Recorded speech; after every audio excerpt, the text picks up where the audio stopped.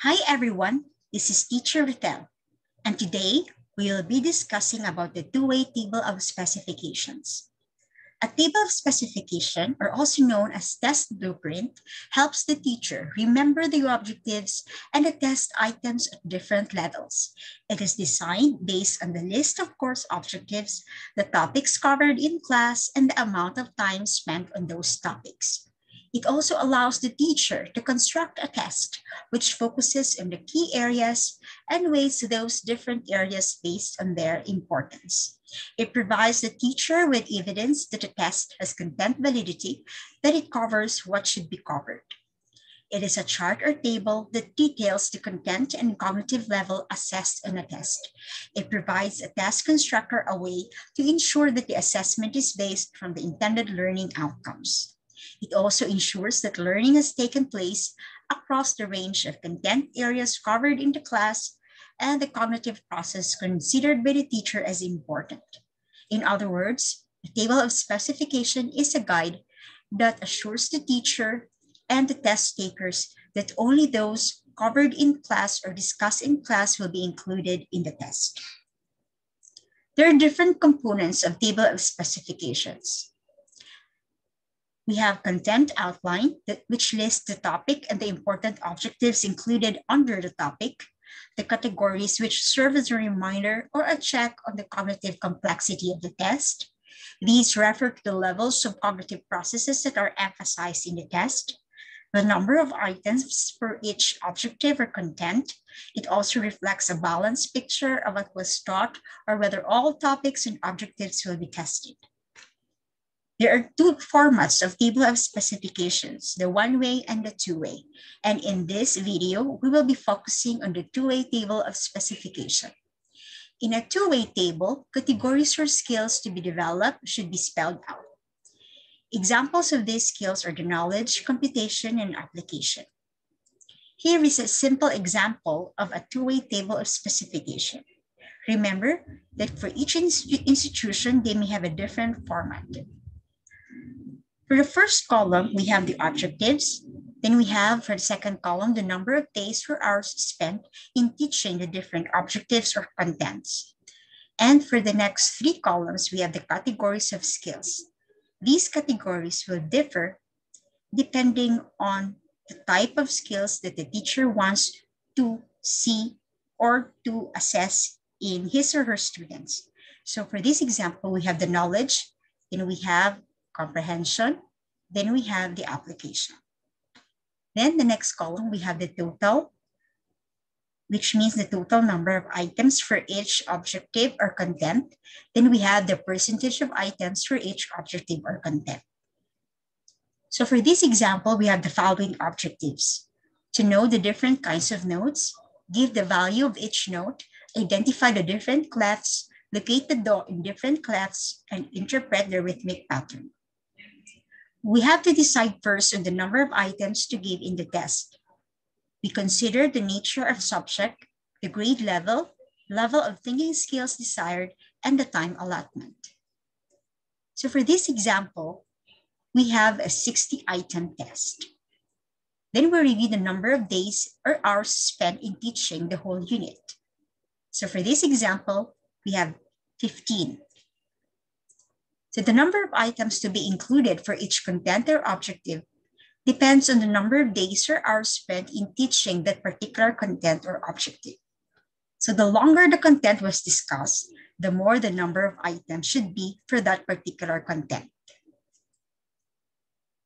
Then we have to decide how many items should be allotted for each objective or topic. So for objective number one, we have, it was discussed in two days or two hours.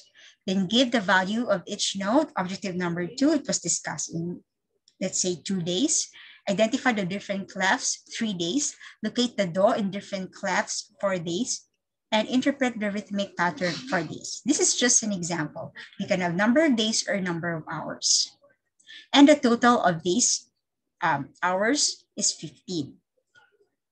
So to identify or to determine the number of items per objective, we have the following formula.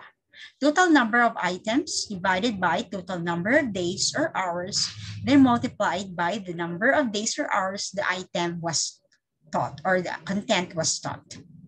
So for example, for objective number one, the total number of items is 60 divided by the total number of hours spent in teaching all the objectives or contents, which is 15, then multiplied it by the number of days the objective or objective number one was discussed or taught, which is two, and we have the answer, which is eight.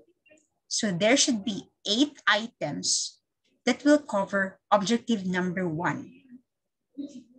For objective number two, we have 60 divided by 15, which is four, multiplied by two, because objective number two was discussed in two days, or let's say two hours, then the, the, the answer is eight.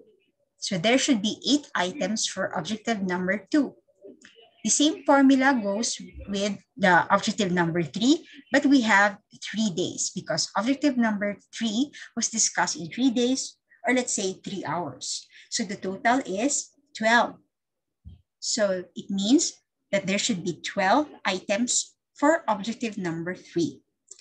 For objective number four, we have the formula 60 divided by 15, which is four, multiplied by four, because objective number four was discussed or covered in four hours, or let's say four days. So the answer is 16. There should be 16 items for objective number four. And for objective number five, we have also 16 items. Then we decide what categories of skills we are going to use. Let's say we will use the Bloom's taxonomy of cognitive domain, particularly the knowledge, the comprehension, and the application. So this will, will differ depending on your subject and the skills that you want to measure in your assessment or test. We decide what item numbers you will assign for questions or items that cover a particular objective in a particular skill category.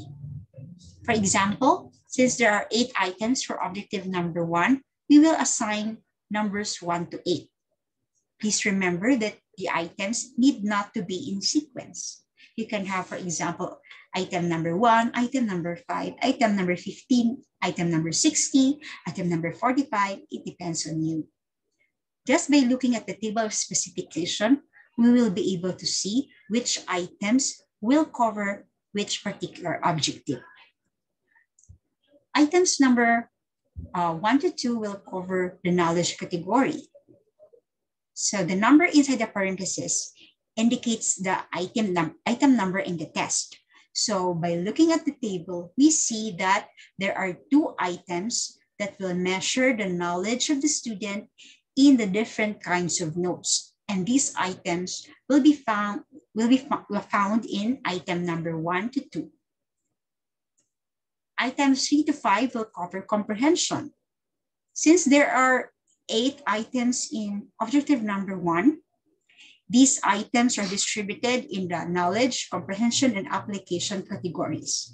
For the knowledge category, we have two items which are found in items one and two and the three items which will be found in item number three, four, and five, which will also uh, measure the comprehension on the different kinds of notes.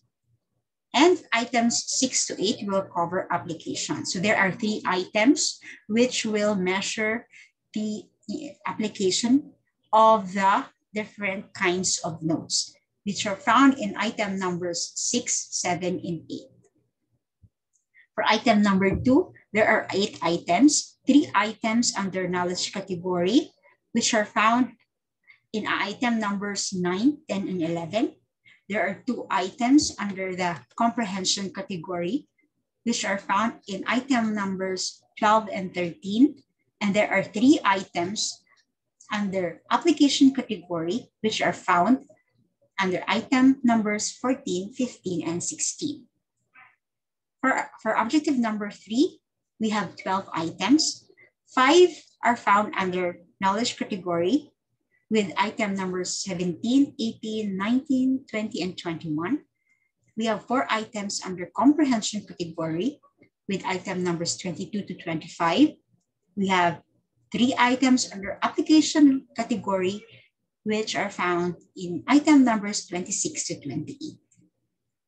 Then we have for objective number four, all the items, which are 16 items, are found in um, application category, which are found in the items, item numbers 29 to 44. So in other words, the items need not cover all the categories. So it will depend on your objectives. Then we have also 16 items for objective number five, which are all found in the application category in item numbers 45 to 60. Then we solve for percentage of items per objective or topic. The percentage of items in objective number one, we have the following formula. Total number of items for a particular objective or topic, which is in our case, um, for example, is eight for objective number one. Then we divide it with the total number of items, which is 60 and then we multiply it by 100. So for objective number one, 8 divided by 60 times 100 is equal to 13.33. So in other words, 13.33% of all the items will measure their knowledge, comprehension, or application of the objective number one. Objective number two, eight, which is the total number of items for objective number two, divided by 60, which is the total number of items for all the objectives or contents. Then we multiply the answer by 100, and the answer is still 13.33%. Then for objective number three, 12 divided by 60, then we multiply the answer by 100, the answer is 20 or 20%. Then we have objective number four, 16 divided by 60. Then the answer will be multiplied by 100. The answer is 26.67. And for objective number five, 16 divided by 60 multiplied by 100, the answer is 26.67 and the total is 100%. So we have here an example of two-way table of specifications which outlines the categories of skills, the number of items for each objective, and the percentage of items for each objective. So that ends our presentation or discussion about the two-way table of specification. And here is the reference. So thank you very much. And if you like this video, kindly click the like or thumbs up button. And you may, you may also subscribe to this channel for more future videos. So thank you very much and stay safe